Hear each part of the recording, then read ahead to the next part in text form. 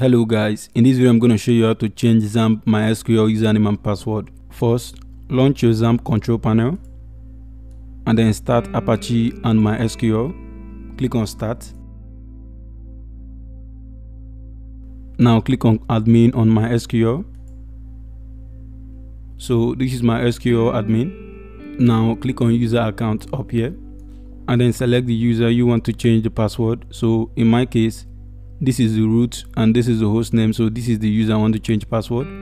So click on the username and then click on login information up here. Here you can change the username from root so let's just call this. But do not change the password from here else you're gonna have an issue with this. And then save so click on go down here. Now if you want to change the password click on change password up here so this is where you change the password. So enter the new password. So just enter anything. And then click on go.